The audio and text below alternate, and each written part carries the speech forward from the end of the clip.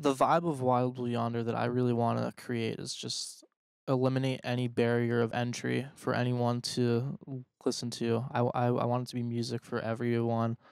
If you've never heard a single song in your entire life, I want you to hear the music and just instantly be able to mm-hmm. relate to it.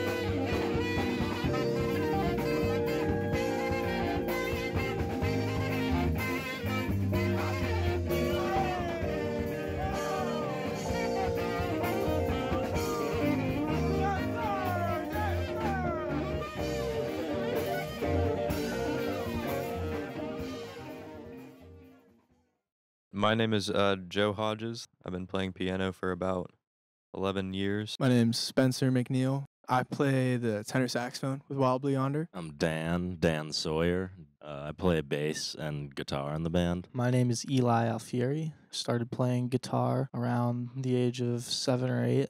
My name is Alex Perez. I'm the trumpet player. My name is Frank Mileto. I play drums for Wild Blue Yonder. Wild Blue Yonder is an old term for the sky and all of the heavens that could be out out there. Uh, Wild Blue Yonder is something that anyone can pinpoint immediate authenticity in. So uh, not not only are we, you know, satisfying, you know, the brains and the minds of you know people who have deep experiences with music itself, we're also just communicating to people, you know, as people.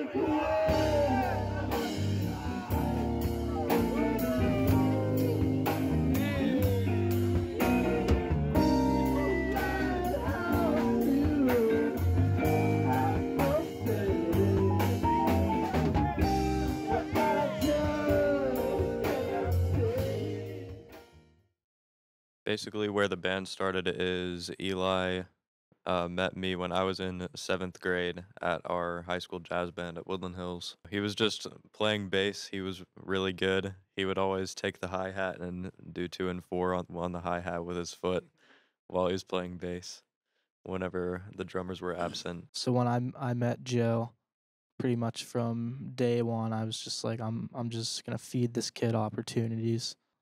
We ended up really enjoying the music that we make together, and Joe had to briefly take a break from the band my freshman year of college, which ended up me meeting Dan, who's became one of my best friends. I had always known that Frank was a beast on drums, and we grew up together, which means a lot to me. So we brought him in, and I've always wanted to, b- to be friends with really cool horn players. So I called Perez, and then Perez brought Spencer a- along. So s- this has been the lineup of Wild Blue Yonder since the pandemic. AAB with eight bars each. ABA. ABA. Okay, so AA. four that that works out four bars each.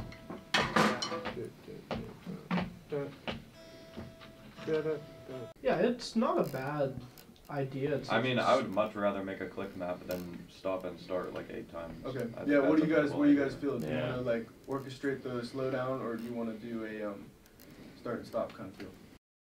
how how can you describe an emotion or a feeling and i th- i think if you can describe either of those things well that's what deeper lyrics are and we play this song live and it's lighthouse and the entire song really embodies just a journey. Like this whole song builds up and builds up and builds up after this big just you know journey that you go through and there's this huge release and what happens at this release? You let your freak flag fly.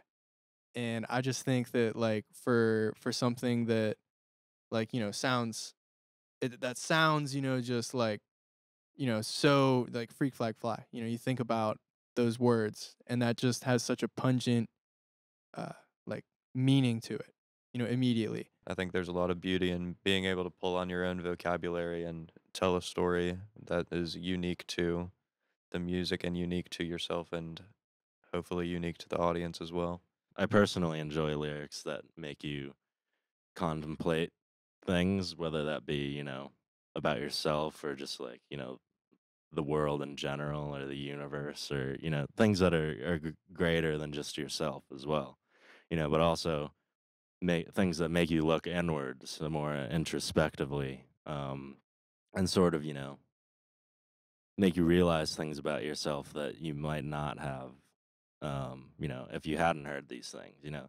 I feel like a lot of great lyrics are often, you know, eye opening in the sense that, you know, once you've heard them, you can't ignore them anymore because, you know, the reality is too striking.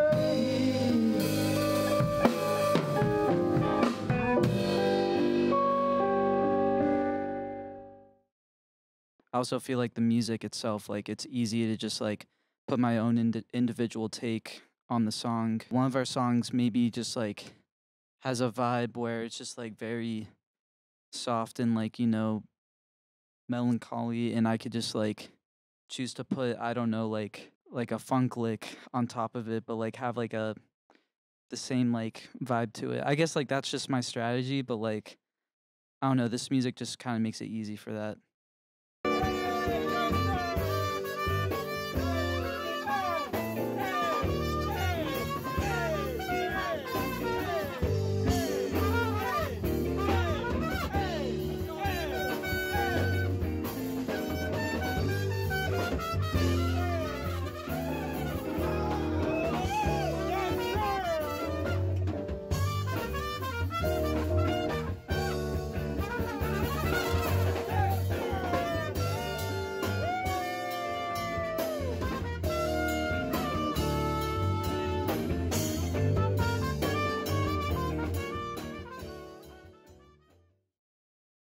For me, growing up in Pittsburgh, you know, I'm aware that this town has one of the richest jazz histories in the country. We've we we've all grown up here, um, playing jazz music and learning from the musicians who are based here about how to con- conduct yourself on the bandstand and just in general and like being very committed to being the best musician that you possibly can. you know, Pittsburgh is just like the beginning. I don't know. I just see Pittsburgh as just like this is where it starts.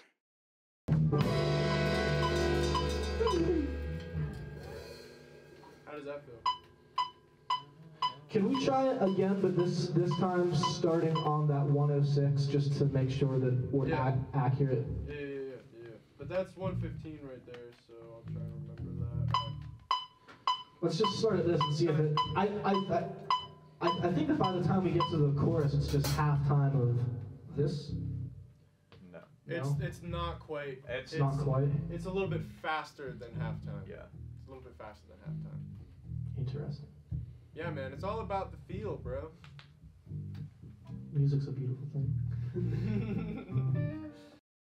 I just think the only thing you really need to know about Wild Blue Yonder you can learn by being in the crowd when Wild Blue Yonder's playing. I don't know, there's something about just going to a show and seeing people that, you know, that are your age, that are from your generation, that are saying things you want to be said, and just connecting with people who are just genuine people, uh, both in the crowd and on stage. I go out for my walking. See the sun smiling down on me. It's a beautiful day. Thank you. Thank you very much.